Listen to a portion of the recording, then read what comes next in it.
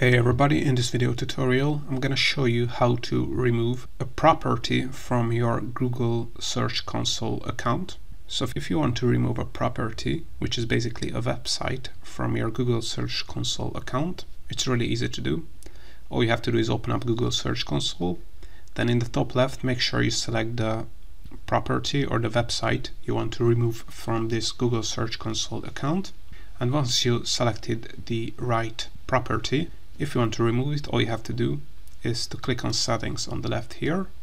Then, as you can see, this is where we're gonna be able to remove this property from this Google Search Console account. So if you are sure that you want to remove it from the account, just click on remove property and then you can click on remove property here and confirm that you want to remove this property from this Google Search Console account.